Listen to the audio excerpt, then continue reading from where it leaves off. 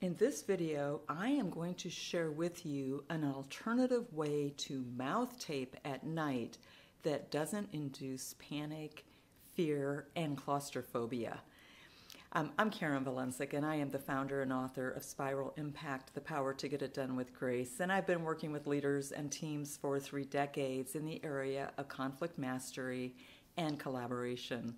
Good sleep and good breathing are essential to our performance.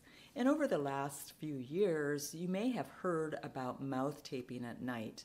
It's important to performance and to our well being that we breathe in through our nose. That is how we are wired physiologically. And we get more breath, more oxygen exchange. It's just a healthier thing. And I'm not going to go into depth in that in this video. If you're interested in learning more about how important good breathing is, I highly recommend this book by Nestor, Nestor which is called Breath. And it's a fantastic read. I did a video about this book that I will link at the end of this video. The important thing about mouth taping is that if we're sleeping, we really may not be conscious of what we're doing. But if you wake up and your mouth is dry, your throat might be a little sore, could be an indication that you're breathing through your mouth. If you're not sleeping soundly, that can be an, another indication. And I know for me, I used to snore more. And sometimes I'd even wake myself up in the night. Since I've been doing mouth taping, that doesn't happen at all. Now, most people and do and most people recommend is getting medical tape.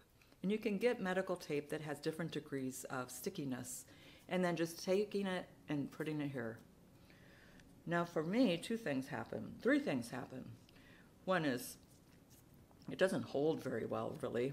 And two is it really bothers the skin on my lips, so I don't really like it. Also, because I can't open my mouth at all, it makes me feel claustrophobic, and it's really hard for me to fall asleep with this. So, if you've had that same experience, um, I'm going to share with you what I do. And my physical therapist, Denise, shared this with me very early on in the pandemic. And I still do this most nights, not every night. And I find the more I do it, the more my body seems to be training itself to breathe naturally through my nose. So, first of all, get this Kinesio Tex Gold. It's the original Kinesio tape. I get this on Amazon. Now, why I think this is important some of the stuff you buy in the drugstore that's intended for your knees and shoulders it's got a heavier stick on it than this. This doesn't really, this doesn't hurt my skin as much. So you get that. Then what you do is cut off a piece that's a little wider than the width of your mouth. So just cut it off. And then you're going to trim it. And I trimmed it so it's a little, it's a little less wide so that it just covers a, a bit above my lips. And then what you do is you take that and you fold it in two and cut out, oops, and cut out the shape of your lip. So it looks something like this. Now, what I do is I trim the edges because I, if I don't, it kind of gets interfered with these lines I have, and I don't want to make those worse.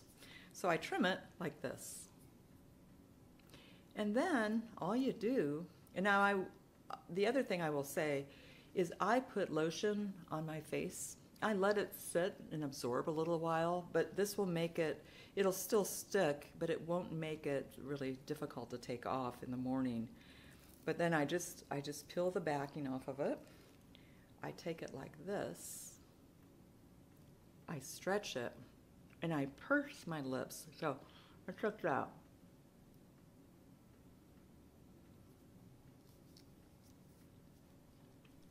voila. Now, that may look kind of strange, and you're thinking, how does that keep your mouth shut?